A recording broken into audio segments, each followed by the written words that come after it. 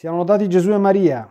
Cari amici, sta per partire questo video di questo ciclo di catechesi. Vi invito a mm, iscrivervi al canale se non l'avete ancora fatto, spuntare la campanella per le notifiche e al termine del video, se il video vi piace, di mettere un bel like e una condivisione con qualcuno per diffonderlo se lo, se lo reputate opportuno per il bene di altre anime. Buona visione a tutti. Laudentur, Jesus et Maria. Amici carissimi, bentornati ad una nuova puntata del ciclo di catechesi dedicato al catechismo romano del Concilio Tridentino, un bel viaggio dentro la sana e santa dottrina cattolica, spiegata in termini abbastanza articolati ed abbastanza, sì, abbastanza articolati ed estesi come stiamo imparando a conoscere e riconoscere dalla lettura e dal commento di questi numeri. Abbiamo terminato dopo una discreto, un discreto cammino la prima parte del catechismo, quella dedicata al commento degli articoli del credo. E la seconda parte, sapete che tutti quanti i catechismi sono impostati fondamentalmente in tre grandi parti, no? quindi la fede, la legge e la grazia. Quindi cosa dobbiamo credere, cosa dobbiamo fare e cosa dobbiamo sperare per poter fare quello che dobbiamo e godere quello che ci ha promesso. Il catechismo romano parte subito con i sacramenti, quindi prima ancora di parlare della legge parla della grazia, perché senza la grazia la legge non possiamo osservarla. E parlando della grazia, evidentemente il primo grande discorso che deve essere aperto è quello sui sacramenti. Quindi c'è una prima parte in generale che riguarda i sacramenti in generale, poi faccio un'illustrazione generale. Eh? I sette sacramenti, ossia il battesimo, eh, sia dei bambini sia degli adulti, del battesimo parlerà tantissimo. La cresima, quindi parte con i sacramenti dell'iniziazione cristiana, e l'Eucaristia. Sull'Eucaristia ovviamente ci sono tantissime eh, cose, tenuto anche conto del contesto storico in cui è stato emanato questo catechismo, insomma, quindi eh, la polemica luterana, quindi capite che i sacramenti avranno una parte assolutamente preponderante. Se uno vuole farsi proprio una sana e santa overdose di dottrina cattolica sanissima sui sacramenti, ecco, ha trovato il posto dove andarsi a cibare, eh? perché qui proprio è il non plus ultra. Sull'Eucaristia non vi dico i numeri, penso che ci staremo bah, forse 7, 8, forse 10 puntate. Poi c'è il sacramento della penitenza.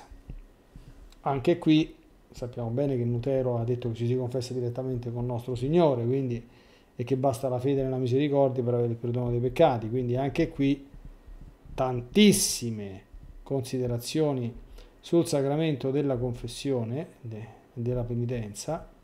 Ci sarà veramente, vi dico, da, da, da, da divertirsi, andremo molto oltre anche alcune delle mie, delle mie più fervorose eh, catechesi poi l'estrema unzione, anche qui, qui chiaramente il discorso sarà leggermente più breve, e poi l'ordine sacro, anche qui ci sarà da, da piangere per certi aspetti, e poi il matrimonio. E poi comincerà la parte terza con i precetti del decalogo. Bene, andiamo ovviamente con ordine cominciando la lettura dei sacramenti in generale, perché prima dobbiamo capire che cos'è un sacramento, e quindi oggi cominceremo la parte seconda dal numero 148. Penso che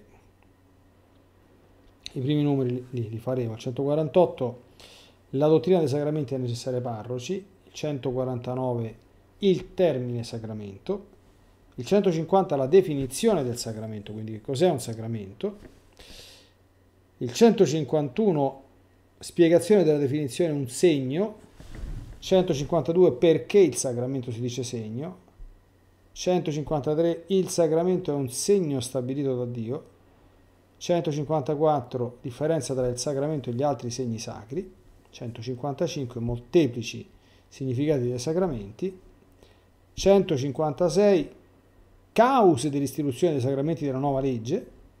E 157 materia e forma dei sacramenti. Poi 158 la cerimonia dei sacramenti, 159 il numero dei sacramenti, 160 i sacramenti non sono tutti ugualmente necessari, 161 Gesù Cristo è l'autore dei sacramenti, 162 i ministri dei sacramenti e 163 gli effetti dei sacramenti. Infine, 164 l'effetto speciale di alcuni sacramenti, cioè il carattere, e 165 rispetto e frequenza dei sacramenti.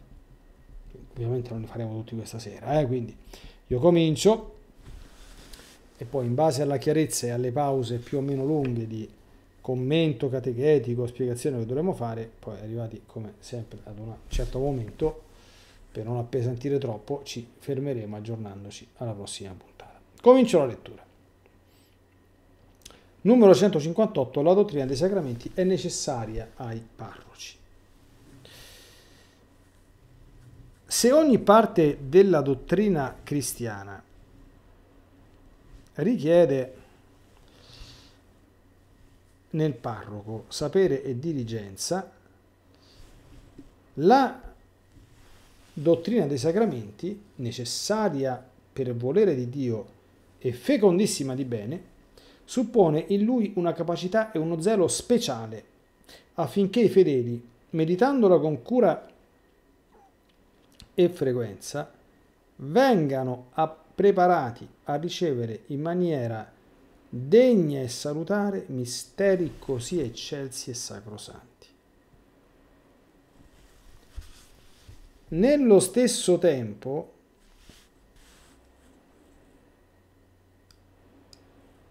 nello stesso tempo, i sacerdoti non si allontaneranno dalla norma di quella divina interdizione.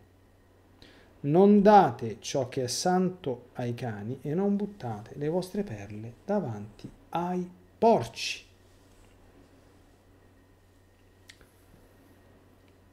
Allora, prima doverosa pausa. Numero uno,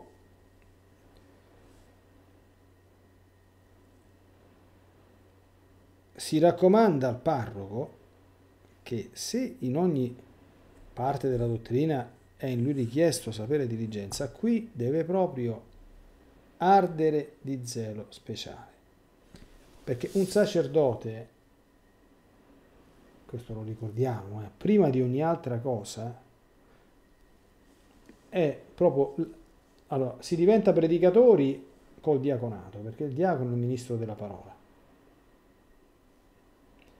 Che cosa c'ha in più il sacerdote? Che amministra i sacramenti. E quando è anche parroco, ha anche una certa partecipazione di un certo potere giurisdizionale, quindi una certa potestà nella Chiesa. Quindi ha autorità sulla porzione di anime che il vescovo gli ha affidato. Ma la quidditas propria sono i sacramenti. E lui li deve amministrare con zelo, ma deve anche, e qui però non può farlo da solo, perché qui necessita di una risposta da parte dei fedeli, deve preparare i fedeli a ricevere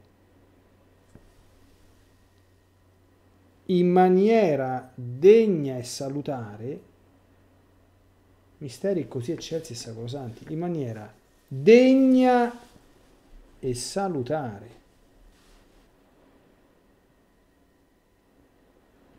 Quindi significa che i sacramenti possono essere ricevuti in maniera indegna e insalutare, cioè insalutare, si passi il termine, no?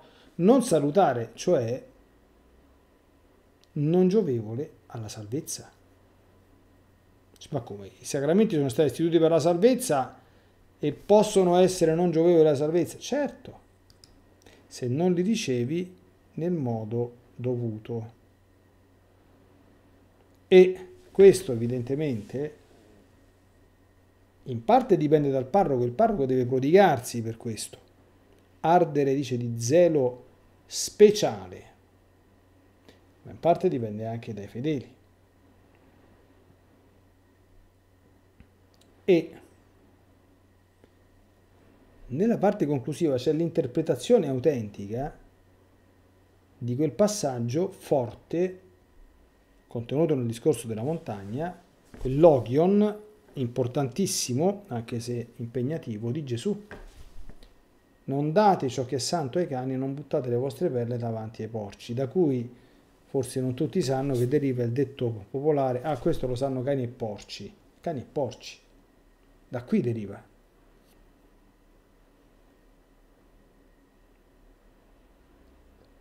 Non date ciò che è santo ai cani.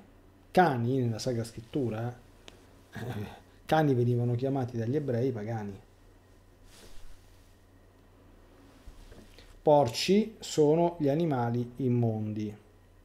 Quindi vuol dire che chi vive di fatto come un pagano non può avere accesso ai sacramenti, a nessuno, eh? neanche al battesimo e neanche alla penitenza, che sono i sacramenti dei morti. Perché certo, questi sono per i peccatori, sì, quindi eh, chi è, che, chi è che viene battezzato? Un pagano, ma un pagano che prima di essere battezzato è diventato catecumeno, cioè che sta facendo un cammino di conversione.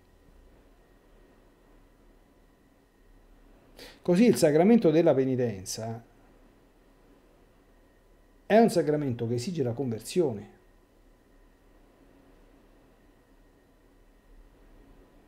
Dato per dirne uno. L'assoluzione non può essere data sempre, comunque, dovunque a chiunque. Ma non perché il ministro è cattivo, perché il ministro è un ministro. Se una persona non è disposta, nel senso che non ha le dovute disposizioni, non può ricevere quel sacramento.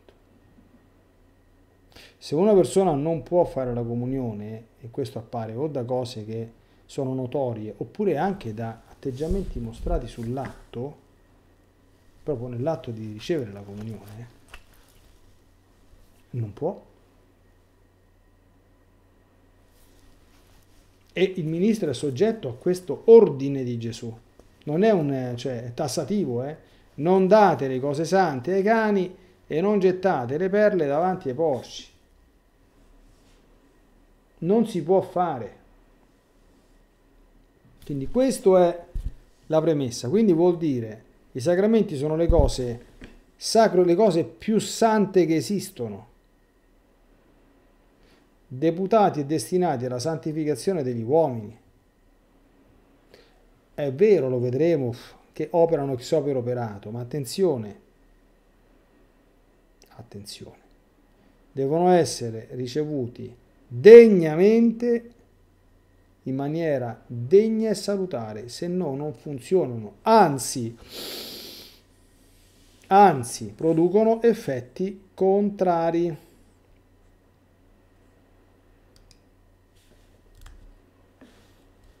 Ok, questo mi raccomando sia chiaro.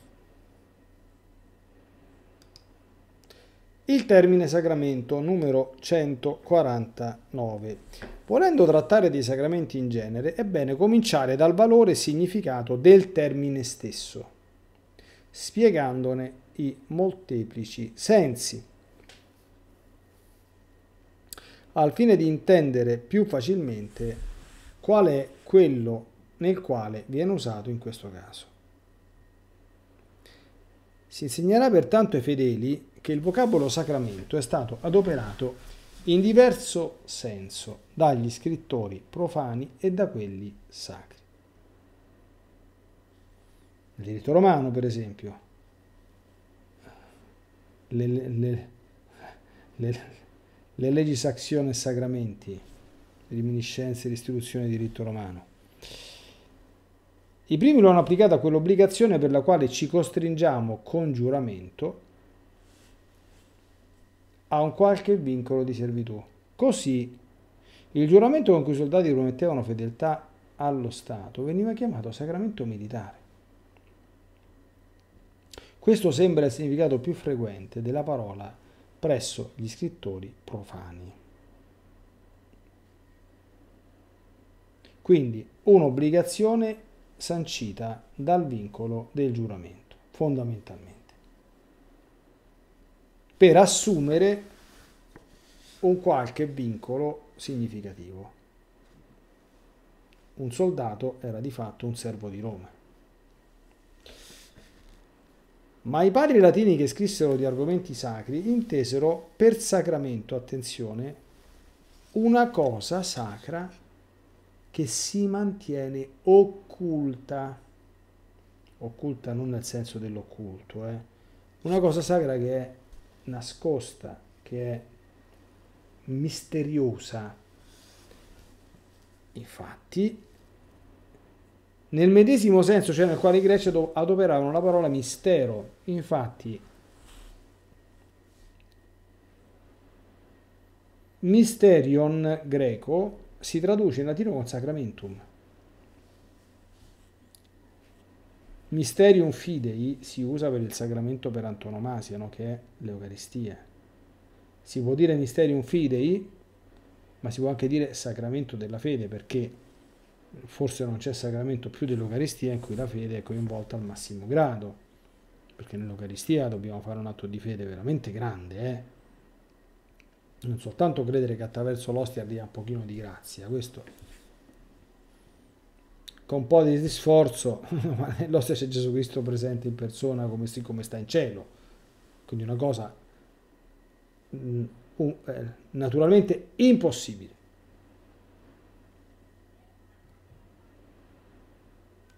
Appunto in questo senso si deve prendere la voce sacramento nell'epistola a quelli di Efeso, per esempio, no? per, far noi a noi, per far nato a noi il sacramento della sua volontà, Efesini 1.9, che è tradotto con, con, con eh, come dire, in italiano con il, con il mistero della sua volontà. Eh, però in greco è mistero, in latino è sacramentum. A Timoteo, grande è il sacramento della pietà, primo Timoteo 3.16, ma anche qui nelle traduzioni moderne troviamo grande il mistero della, della pietà, ovviamente nella vulgata si trova Magnum Sacramentum Pietatis. E nella sapienza disconobbero i sacramenti di Dio, gli empi, no? Capitolo 2, versetto 22. Ma troviamo in lingua corrente, disconobbero i misteri di Dio, sempre in termini greco misterio. In questi passi e molti altri, il sacramento non significa altro che una cosa sacra, nascosta e occulta. Quindi già in questa prima battuta, quindi con questa prima significazione siamo ancora a livello semantico, cosa sacra, nascosta e occulta. Anche il termine sacramentum ha la radice di sacro. E dinanzi al sacro qual è l'atteggiamento che bisogna avere? La riverenza, somma, esteriore e interiore. I sacramenti vanno degnamente amministrati e degnamente ricevuti. Esempio, faccio sempre gli esempi. Un sacerdote deve celebrare degnamente l'Eucaristia, in tutto, le tovaglie dell'altare, le candele, che devono essere poste in un certo modo, preferibilmente di cera naturale, i paramenti sacri, il modo con cui celebra, il portamento, come tocca l'Eucaristia, come tratta l'Eucaristia, come distribuisce l'Eucaristia, eccetera, eccetera, eccetera. Similmente i fedeli devono stare ammessi in un certo modo, in silenzio, in ascolto, in adorazione, in piedi, in ginocchio, a seconda dei momenti.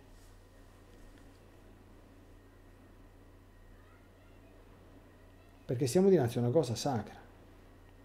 Le confessioni, quante volte mi dicono, ma mi sono confessato, il, professore, il confessore non c'aveva la storia, si siamo messi a un tavolo della scrivania, io stavo seduto, lui stava su, stavo nella scrivania, a me quello non mi sembra una confessione. Allora, la confessione è confessione, perché non ci sono regole ad validitatem, cioè non sta scritto da nessuna parte che se ti confessi dietro una scrivania la confessione è invalida. Però per quanto riguarda il rispetto per una cosa sacra, anche insomma l'idea, no? Cioè la confessione si fa almeno con la stola addosso, ma sarebbe meglio avere per chi porta la talare la cotta e la stola, per chi porta la talare il camice e la stola addosso e usare il luogo tuttora preposto all'ascolto delle confessioni, che è il confessionale.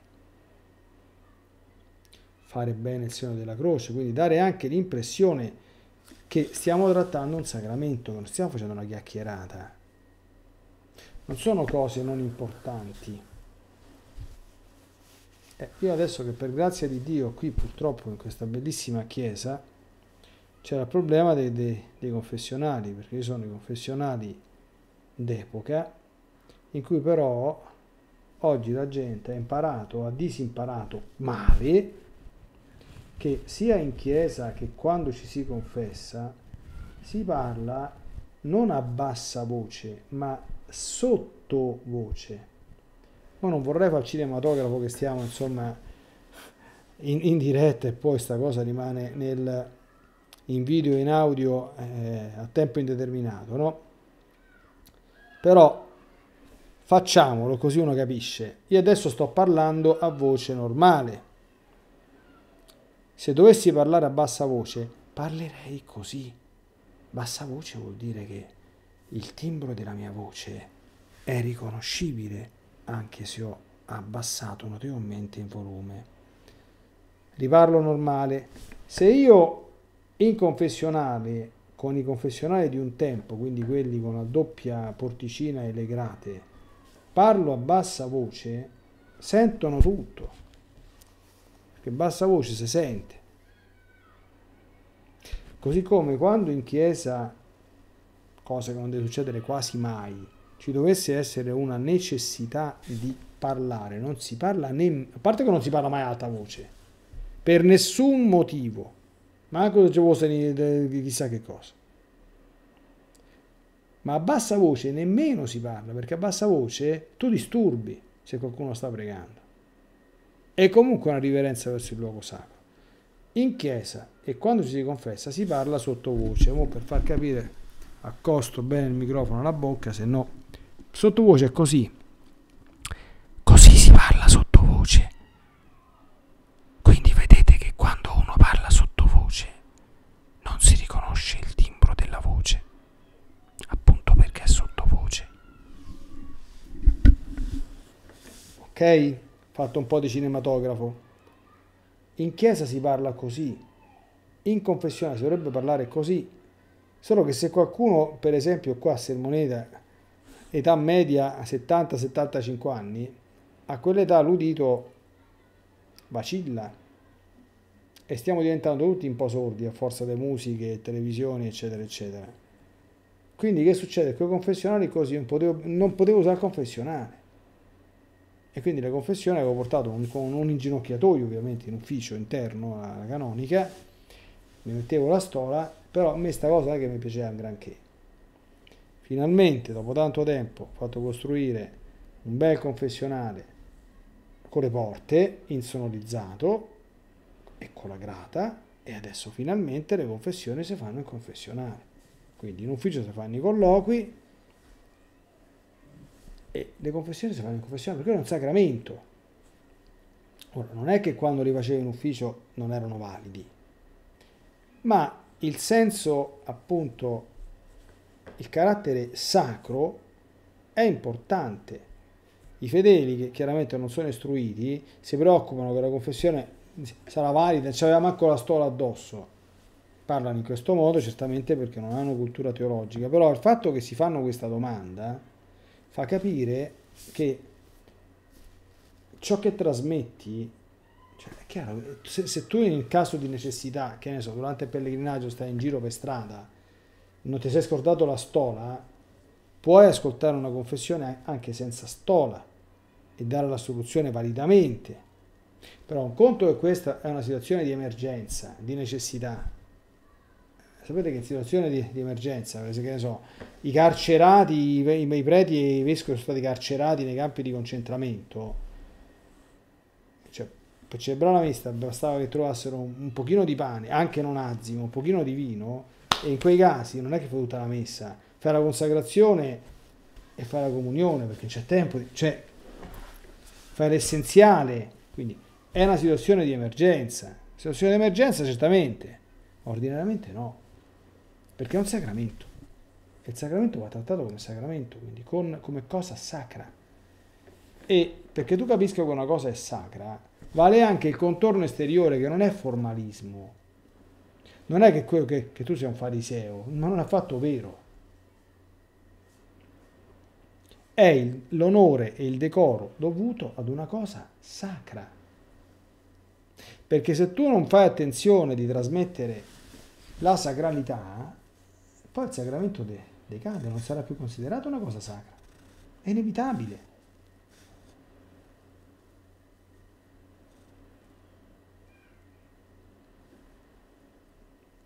La stessa cosa, la gente che capisce non, non tanto può essere molto contenta, per esempio, che nella liturgia adesso si usi la lingua volgare ah ma se no non capisco niente. La liturgia è un'azione sacra.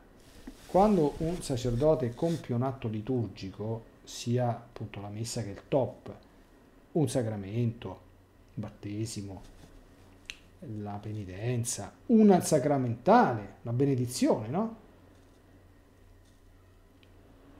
Sta amministrando cose sacre, sta trattando cose sacre, sta trattando con Dio. Il venerato latino, lingua ancora ufficiale della Santa Madre Chiesa, è stato da sempre utilizzato, nonostante avesse avuto sempre tanti nemici. Da sempre. I primi grandi nemici del, del latino sono stati i luterani. Lutero ha tradotto la Bibbia in, in, in, in tedesco, no? E ha celebrato la Via Messa in lingua volgare. Perché? Perché? Perché nel latino non si capisce niente. E tutti vanno dietro a questo. Eh. Io ho imparato ad apprezzare a suo tempo queste cose, ma anche io non, non, le apprezzavo. Anche a me sembrava a un, a un primo acchito di ma forse sarebbe meglio se, se uno non capisce niente. Ma dopo però mi sono dovuto assolutamente ricredere.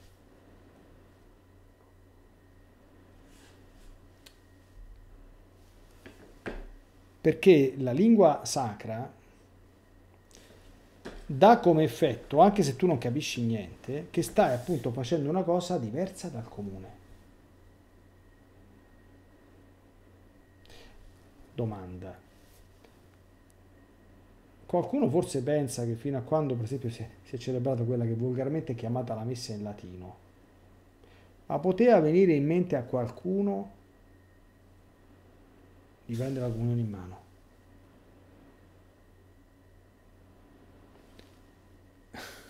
Erano consacrati i vasi sacri, il sacrestano non poteva toccare nemmeno i vasi sacri, non dico l'ostia, senza il permesso del parroco, non poteva neanche preparare il calice.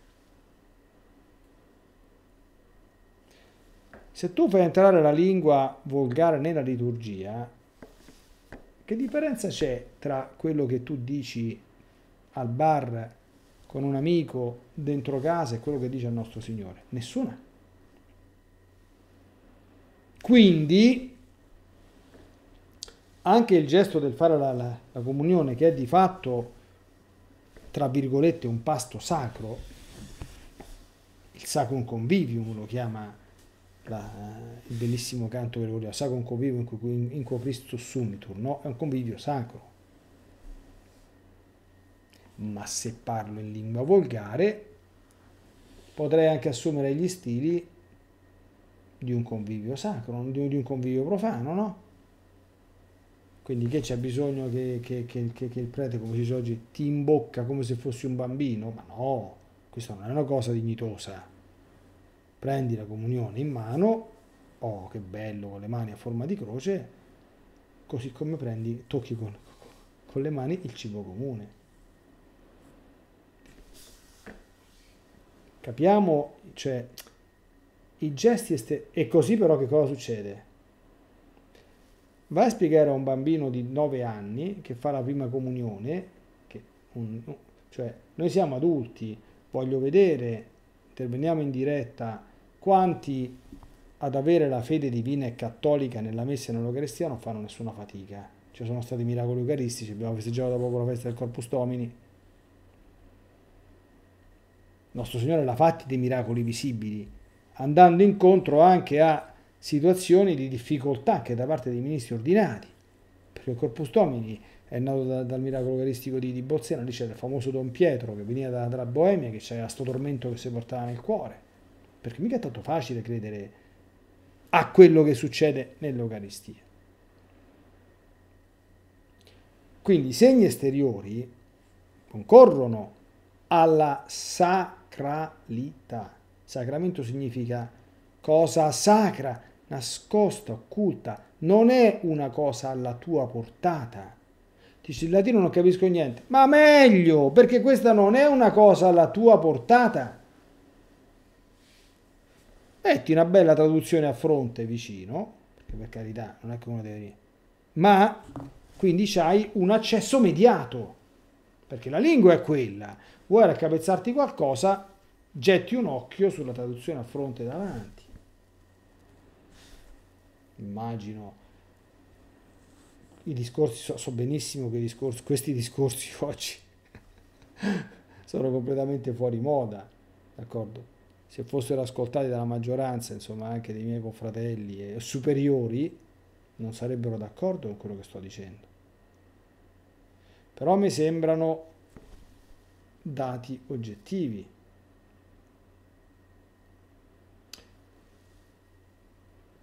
Quando noi ragioniamo,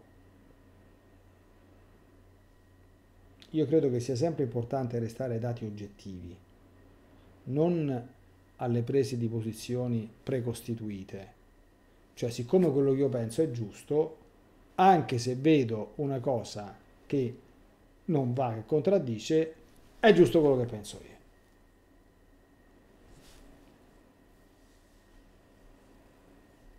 Vabbè, proseguo se no non facciamo neanche, non finiamo neanche il 149.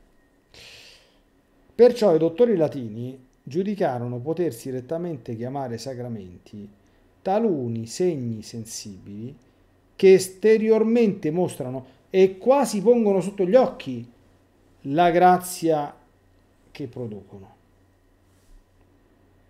Sebbene essi, a detta di San Gregorio, si possano anche dire sacramenti in quanto la divina virtù vi opera in segreto la salvezza sotto il velame di segni corporei. Vedete anche la grandezza dei padri, no? Quindi, esempio per far capire, mostrano e quasi pongono sotto gli occhi la grazia che producono. L'esempio più classico è il battesimo il battesimo ti lava dalle colpe, no? dalla colpa originale e dalle colpe attuali se sei battezzato in età adulta. Quindi, quale segno più espressivo che te lo pone sotto gli occhi dell'acqua per farti rappresentare appunto qual è la grazia spirituale del sacramento del battesimo? Però, dice San Gregorio, si dicono sacramenti quelli che sotto il velame dei segni corporei operano in segreto la salvezza, quindi in maniera invisibile. Ne pensi qualcuno che tale vocabolo sia recente nella Chiesa? Qui chiaramente c'è una punta di polemica, neanche troppo implicita, contro i riformatori protestanti. Poiché chi scorre San Girolamo e Sant'Agostino facilmente rileverà come questi antichi scrittori della nostra religione, a dimostrazione del medesimo oggetto di cui trattiamo, spessissimo adoperano la parola di sacramento e talora quelle di simbolo, segno mistico o segno sacro. e basti per il nome di sacramento quanto abbiamo detto e che si può applicare anche ai sacramenti dell'antica legge. Di questi ultimi però non è necessario dare istruzione ai parroci essendo stati aboliti dalla legge evangelica e dalla grazia. Oh. I cosiddetti sacramenti dell'antica alleanza, che sono la circoncisione, uno, era uno, la Pasqua ebraica, due, vedete, sono stati aboliti. Per cui soffermiamoci con attenzione a quelli nuovi che sono stati istituiti da, da, da Domine Dio. Negli anni 70, 80, 90 cominciò ad andare in vigore e in certe realtà ecclesiali tuttora più che in vigore questo mito del mondo e della cultura ebraica, giudaica. In parrocchie, io eh, anche nella parrocchia dove frequentavo da giovane, che ne so, arriva la Pasqua, tre giorni prima della Pasqua, intanto facciamo la Pasqua ebraica per capire le origini della, della nostra Pasqua. Insomma, sicuramente i padri autori del catechismo romano tridentino sarebbero riportati nella tomba, insomma, no? Cerchiamo di capire bene quello che abbiamo e di utilizzarlo bene. Poi vabbè, eventualmente in un secondo momento per cultura personale si può anche approfondire perché quei sacramenti, attenzione, nell'Antico Testamento ci si santificava attraverso quei sacramenti e Gesù stesso è stato circonciso, eh? Gesù è stato circonciso, come tutti gli ebrei. Sono andati a fare le cerimonie, ci dicono i Vangeli, no? La presentazione al Tempio, la purificazione di Maria, sono andati a farla. Perché Gesù ma al momento dell'ultima cena, la nuova ed eterna alleanza, fine, stop, finito.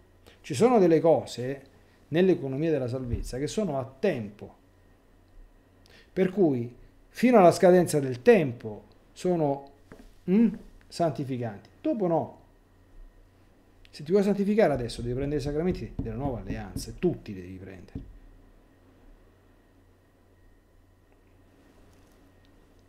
Andiamo al 150, se abbiamo ancora un po' di tempo. Sì, definizione del sacramento. Oltre al significato del termine, illustrato fin qui, importa investigare diligentemente il valore e la natura del sacramento ed esporre ai fedeli che cosa esso sia. Nessuno dubita che i sacramenti appartengono a quel genere di mezzi che procacciano la salvezza e la giustizia.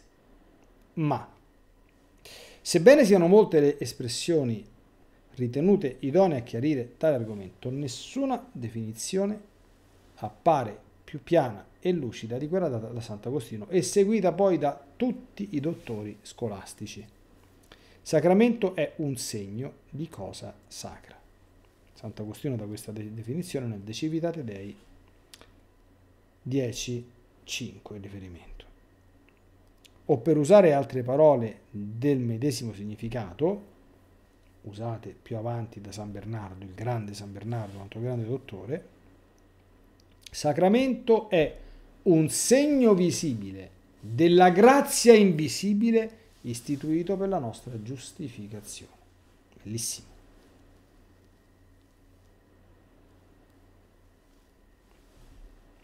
Non commento perché adesso è lo stesso catechismo a incaricarsi di commentare. 151. Spiegazione della definizione un segno. A meglio chiarire questa definizione, i parroci la spiegheranno partitamente. Anzitutto insegneranno che sono due i generi delle cose percepite con i sensi. Esse infatti o sono state inventate per significarne altre, oppure hanno la loro ragion d'essere in se stesse. Nella seconda categoria entrano quasi tutte le cose prodotte dalla natura. Invece nelle prime abbiamo le parole, la scrittura, i vessilli, le immagini, le trombe e altre cose simili. Togliendo infatti ad un vocabolo il suo ufficio di significare, si toglie al tempo stesso la sua ragione d'essere. Scusate, no? Quando non capiamo un vocabolo, che cosa diciamo noi? Quando siamo piccoli? Mamma, che significa camaleonte? Perché camaleonte se uno non sa il significato e che cos'è un camaleonte, sente questo suono, non capisce niente. Quando studiamo una lingua nuova o parliamo anche una lingua straniera ma non possediamo il 100% dei, dei vocaboli, ogni tanto ci troviamo dinanzi a qualche vocabolo ignoto e ci conosce anche io sai che significa questo? Perché? Perché il vocabolo è un segno. È un segno che rimanda a ciò che significa, appunto. Significa, significare significa fa, fare un segno. Cioè, prendo in mano questa, io la chiamo statuina della Madonna. Eh, se uno sente dire statuina de, della Madonna, capisce che cos'è, ma perché sa che cos'è una statua e chi è la Madonna. Quindi, in alcune cose il carattere di segno è ancora più evidente, no? I gesti. Se io faccio così, sto salutando, sto, no? Eh, per adesso per chi sente il podcast ho fatto ciao ciao con, eh, con la mano, no? Ecco. prima ho mostrato l'immagine della, della Madonnina. I segnali stradali, no? Si chiamano segnali, segnali viene da segno, no? io devo studiare quando vado a scuola guida perché devo capire dietro quella figura qual è il messaggio immediato attraverso perché sto guidando, quindi nessuno mentre sto guidando mi può fare, mi può fare un discorso, quindi c'è un cartello che mi avverte di qualcosa. Devi dare la precedenza, c'è un incrocio, c'è questo, c'è quell'altro, no? Oh, il sacramento è proprio segno in questo senso.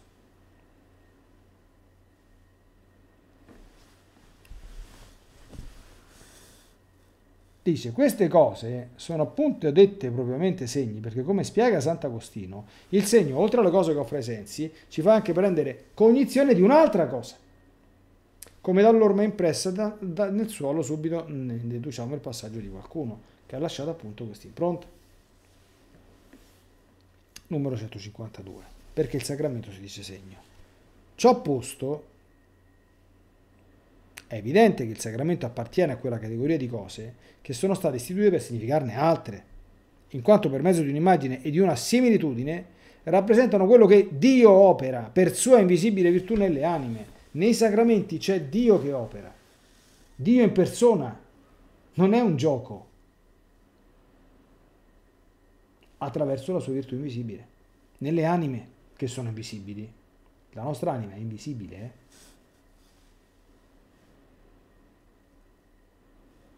Per portare un esempio che renda più chiara la spiegazione, il battesimo, cioè l'abluzione esterna con l'acqua mentre si pronuncia la formula prescritta, non, non, guardate che non l'avevo letto prima, sto facendo lo stesso, lo stesso esempio che ho fatto io prima, significa che per virtù dello Spirito Santo ogni macchia di peccato e ogni turpitudine interiore viene mondata e le anime nostre si adornano del prezioso dono della giustizia celeste cosicché nel tempo stesso, come spiegheremo in seguito, detta abluzione corporale produce nell'anima quello che significa. Ecco proprio la caratteristica del sacramento. Ciò che significa, quindi con l'acqua ci si lava, no? Ma l'acqua si anche beve. E l'acqua è la vita perché io posso stare senza mangiare ma non senza bere. Quindi col battesimo mi si tolgono i peccati e le brutture e però mi si infonde anche la grazia santificante che è la vita dell'anima, come l'acqua lo è per la vita del corpo. Chi ha sete venga a me e beva, no? Come dice la scrittura. Avete capito anche perché nei luoghi di apparizioni mariane, pensate a Lourdes, no? C'è l'acqua, l'acqua per lavarsi, fare il bagno, che rievoca evidentemente il battesimo, e l'acqua da bere, che rievoca il battesimo ed anche i sacramenti che servono ad accrescere la vita della grazia, primo fra tutti l'Eucaristia.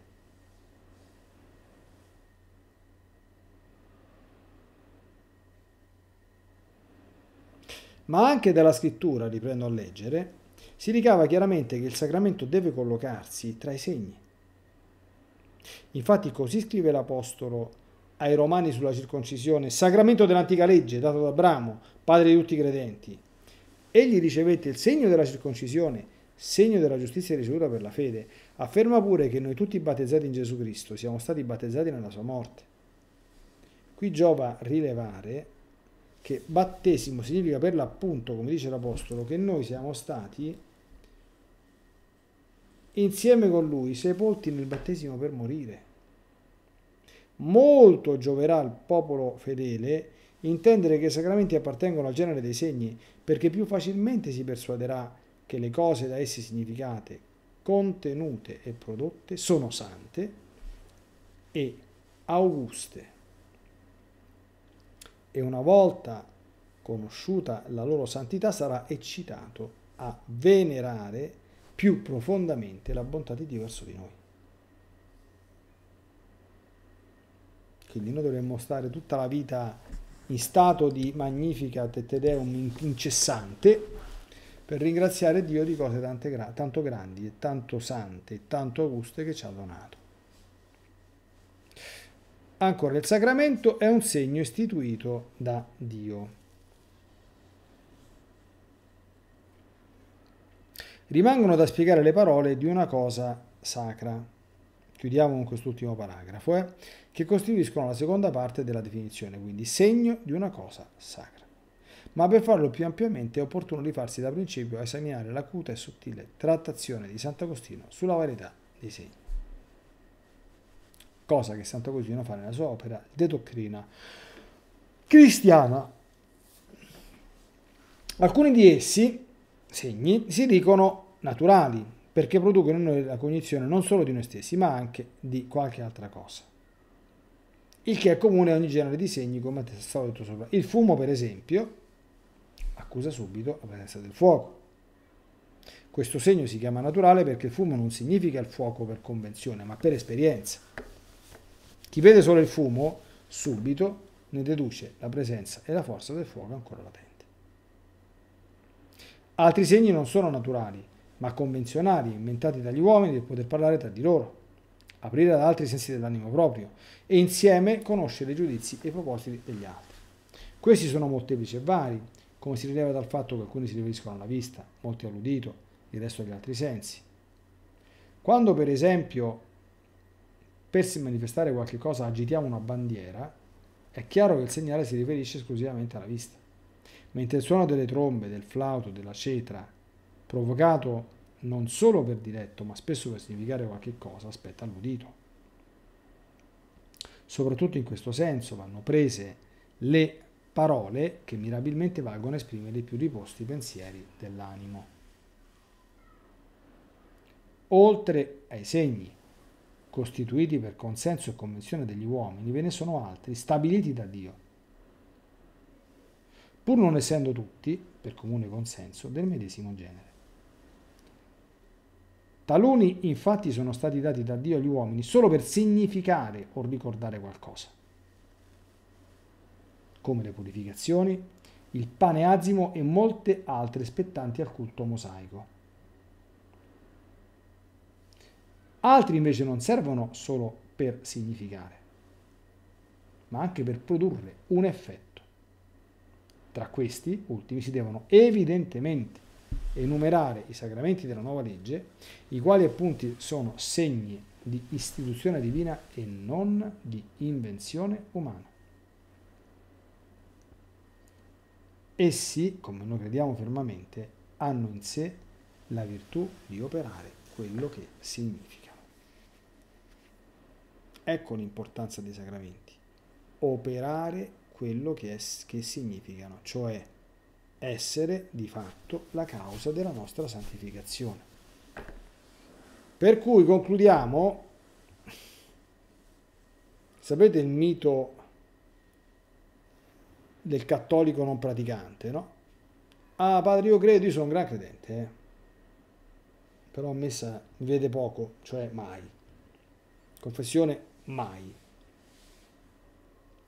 Cioè, sapete quanti battezzati vivono di fatto senza sacramenti? A Google.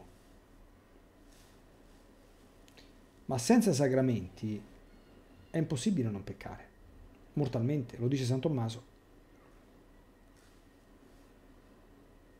Perché tu non puoi diventare santo se non sei santificato.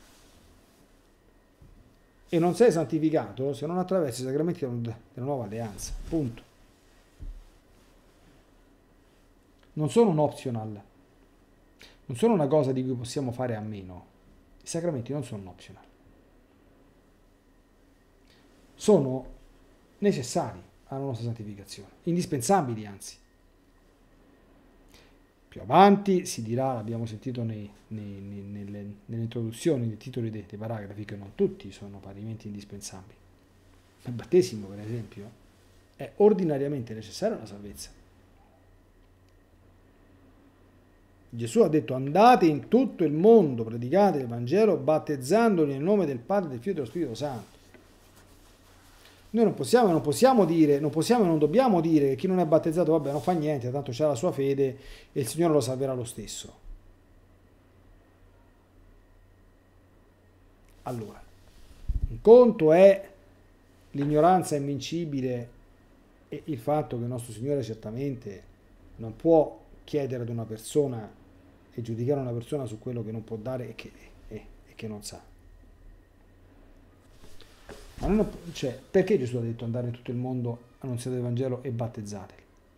Perché se non ricevi il battesimo, sì, in teoria non è che sei dannato automaticamente perché non battezzato, ma è molto difficile raggiungere la salvezza senza il battesimo. Dire molto difficile è dire poco, forse quasi impossibile,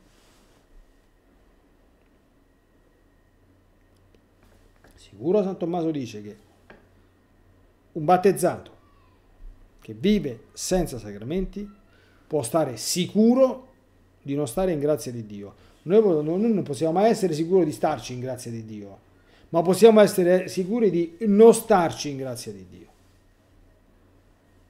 Chi sta lontano dai sacramenti non sta in grazia di Dio. Quindi i sacramenti non sono un optional, sono una cosa sacra che va trattata come tale da tutti